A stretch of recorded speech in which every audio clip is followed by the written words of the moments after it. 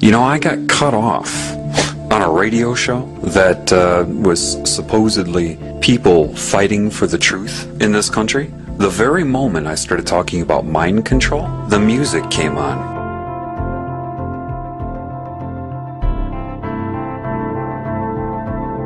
You must assess this world with truth. You must be as a child, meaning pre programming. That's part of what entering heaven as a child means. You have to be honest with yourself about this world. You're told right off the bat you're on Earth. How do you know? Why? Because other humans tell you that? They've told you that's where you are, that this is life, the food chain is normal, biology says so. How do you know that? You're trusting everything you've been told. If your instinct, which is valid, tells you that doesn't make sense, you're right.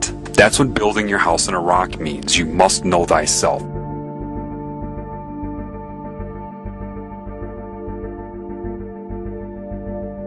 Satan controls all of academia, all of the media, all of the money, everything you're told. All its symbols are everywhere. The color blue, the color purple, butterflies. Butterflies are the uh, huge symbol of Satan, the transformation from what you are into what it wants you to be. So it's subconsciously putting that image of metamorphosis out there. You have sorcery being practiced on you. You have all kinds of control methods you couldn't even comprehend. Those who are in control of the world are anti-Christ. It's obvious. They're puppets of Satan. The Antichrist consciousness and control system here was already there back then. The Antichrist or diseased cancerous consciousness is what murdered him then, and it has risen since. Understand that. That's what happened. They can argue it all they want. It's what they do. That's why they argue. That's all they can do is argue. And eventually they can't answer questions anymore, so they just talk over you. Or, I love this one. You're crazy, you need some therapy. Generally, the people that run the world will come off as the nice ones. Everything they'll say about their group is always going to be, of course, nice, and anybody who says anything against their group is, of course, insane. The implication is they're insane, and, and the group will always be nice about it. You know, I care about you. You seem to be having some mental problems. You might benefit from some therapy. And you create this fraudulent pseudoscience they call it psychology, and you indoctrinate the public into its credibility so that you can draw upon it whenever you are discovered. You witness this all the time, whether you know it or not. You see, in the Bible, they even tell you watch out for people who give long, extended sermons for praise and their outer persona. It's right in there. But with mind control, people cannot allow themselves to see their primary agenda. They absolutely need, require you to feel responsible for whatever they have done to you. They need you to be ignorant of the extra dimensional influence.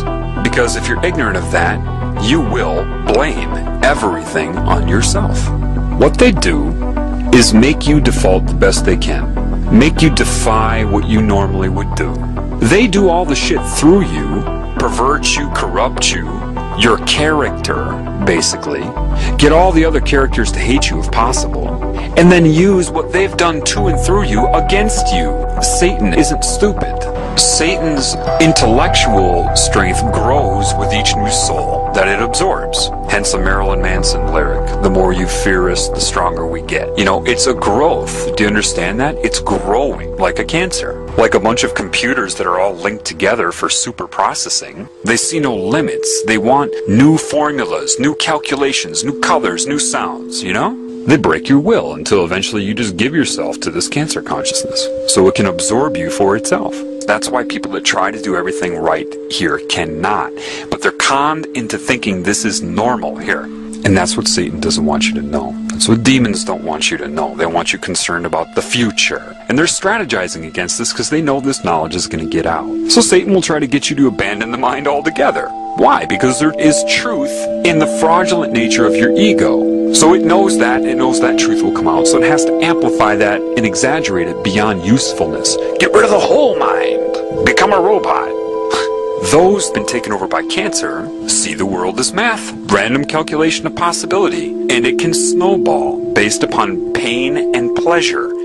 Comedy is the number one vector for mind control because it puts you in a pleasurable state and you're focused on the joke and therefore they can slip in so many messages and you'll associate their messages with pleasure. Every truth that is true, they make fun of it as if it's corny and stupid and, uh, you know, that's the whole intent of that. You see it as comedy, expression of a comedian to get some laughs because you don't know how over your head these movie producers are and what is controlling them. If you want to call it Satan, Semiramis, Isis, the serpent, it doesn't matter. And it recruits them and tells them how much it loves them. Do you understand that evil is going to come in the name of love? You think it's stupid? It's going to come in the name of hate? No. The number one thing that evil will push on you is love and how much it loves you.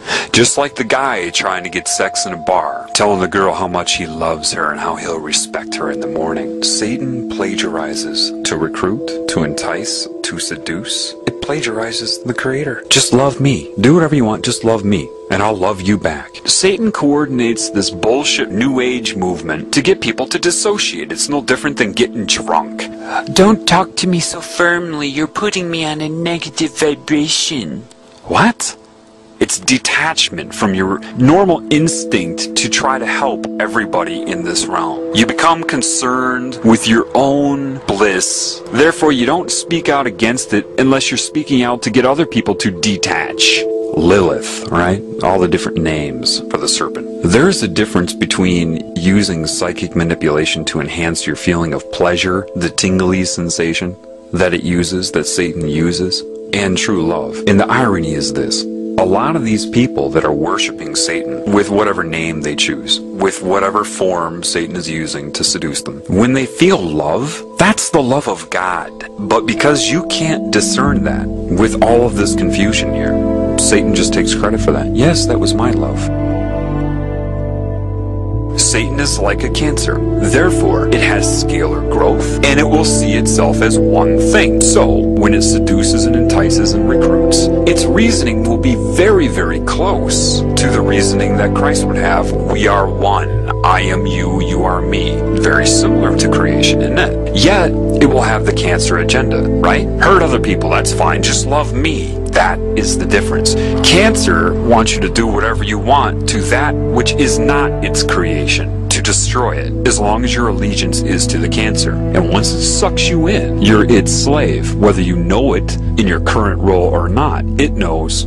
So it can be very confusing because it will make a lot of sense. It will mirror a lot of the laws of creation, except for the love and respect for all of the creations. That will be the difference greed, materialism. There are two oneness campaigns going on simultaneously. One of them is the recruiting by the cancer. We are one. Do you understand that? We're one consciousness. And that is the phenomenon of the all-seeing eye, or the hive mind. Satan can speak through anybody at any time that it's connected to. The problem is, the majority of these used car salesmen everybody calls priests with this black and white, you know, the dark side of the yin, yin yang, as these burning incense, all of these things you're warned about in the Bible. to understand that they are practicing occult Satanism, whether they know it or not?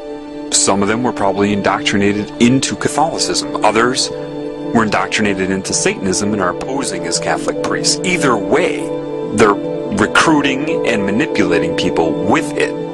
And if somebody does know about the occult side of it, they're not going to tell you anyway. So you have to know the truth in order to be able to see this. These people aren't qualified to teach you about spirit any more than somebody's qualified to teach you how to ride a bike who's only read a book about riding a bike and a fraudulent one at that and has never ridden one themselves. They're not qualified. Catholicism is pure Satanism. The problem is you shouldn't need to be told that. You should be able to see that. Priests that come out and need their audience and admiration in their temple. Why does God need a temple, a building? What? It means nothing. But they get off on that because everybody gives the priest their love. They don't give anything back. They just absorb the love, which is what a lot of spiritual, quote, gurus do. They absorb your energy through admiration. What they're doing. Let me ask you something. Did Christ feel like he needed to wear a specific outfit in order to be credible? Oh, that's right. No, he didn't. What book was this man regurgitating from? Oh, that's right. No book. They're giving it a name and a procedure and a ritual. What name did he give it? Oh, that's right. No name. Do you realize that a lot of the truth that is used about creation, life, the elements of reality, a lot of that used to solicit them into that religion is also the teachings of Christ? How ironic that they draw upon the teachings of Christ to turn those against Christ. These people have a history of pointing their fingers at themselves. They did it when they switched from dictatorship to hidden hand. They're doing it now. It could very well be that these religions were designed, their very purpose, thinking this many moves ahead, designed to fail. How? Why? Well, if they steal the teachings of Christ, then point their fingers at themselves like they always do, expose the Babylonian symbolism, the satanic symbolism of the religions they created. They could do that in hopes to make you abandon all Christ's teachings as well, do you see? If you don't know that they stole those teachings, then you'll think that they created those teachings. They expose the deity as symbolism, and then everybody will have their big sigh of relief. Oh, we don't have to be good. We don't have to follow any of that.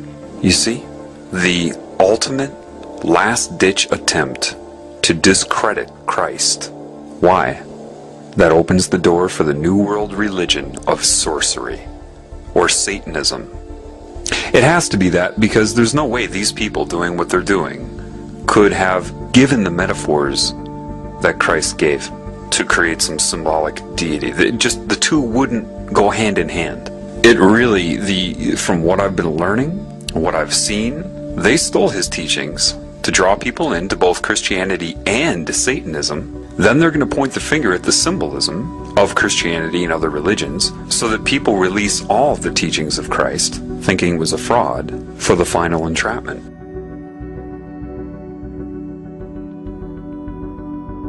The more that I'm taught, the more that I'm learning, the more I understand what Christ was saying. I mean, from the ground up, I may say it differently, but I understand it. There are a lot of people that are like, yeah, I understand it too. That's not what I mean. I mean, I truly understand it. So, one thing I know is that somebody at some time knew what I'm learning better than I know it. And you can only know that when you know it. And how do I know this person was connected to creation? Well, from what I'm learning. Somebody knew the correct way to perceive this reality, what it was, and how to handle it, how to overcome it. I know the Illuminati didn't come up with a lot of those parables. They couldn't have, because if they could, meaning they had the understanding, the knowledge that builds the foundation reaching the conclusion in these parables, if they knew that, they wouldn't be doing what they're doing right now. Let me say that again. If these people that created religion knew and understood the meaning behind those parables, they would not be doing what they're doing right now. Therefore, I know that somebody knew outside of this control system. So, by deduction, based upon what I know, the man existed. I can only infer that they stole the teachings of this man to sell this pagan worship of Satan. Why did he keep his mouth shut when they questioned him? A, they didn't want to know the truth, and B, they weren't going to give him two weeks to try to lead him to the truth. Therefore, he couldn't answer the questions. He just kept his mouth shut. And he knew they were all under demonic mind control. Forgive them, they know not what they do. Why do you think you didn't know what you were doing? I sold my soul to the devil. I know it's a crappy deal. This came with a few toys like a happy meal. That's how I got introduced to the music industry. I swear I wanted to be like the Amy Grant of music. Yeah. but it didn't work out, and so I sold my soul to the devil. Why do you still do it? Why are you still out here? Well, it goes back to the destiny thing. I, mean, I made a d- bargain with it, holding up my end What was your bargain? to get where I am now. Should I ask who you made the bargain with? with, you know, with the chief uh, chief commander, On this earth? and in this earth, and in uh, and then in the world we can't see.